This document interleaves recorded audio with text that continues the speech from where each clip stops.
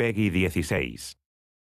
Former career thief, now defender of the weak, Gaslight Catwoman traverses the scenic view of a steampunk Gotham. Gaslight Catwoman is a melee assassin who specializes in stealth, pursuing enemies and slicing apart isolated targets.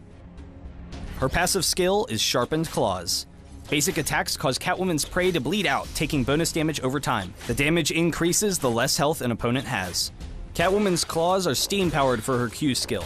Her gauntlet shoots three blades in a cone, dealing attack damage to all enemies in front of Catwoman.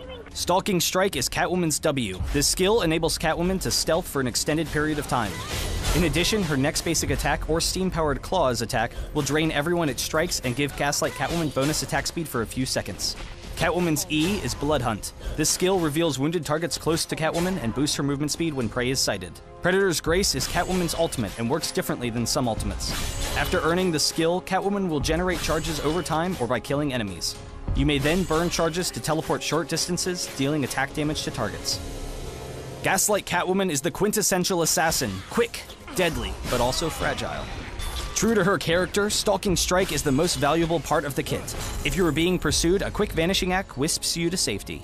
While you are stealth, it wouldn't be too bad to help out a teammate being chased with an impromptu ambush. Jungle areas are the best place to be as Catwoman. Twists and turns instead of a wide open area provide even more opportunities for escapes and engagements, not to mention that many players like to travel through jungles alone, making them vulnerable to your predatory instincts. When building Gaslight Catwoman, you need to go big or go home with truckloads of attack damage.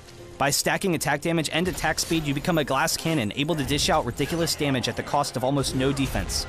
Super speed and X ray vision in the stolen powers slot enable Catwoman to secure kills that are just out of reach and scout out potential targets and threats.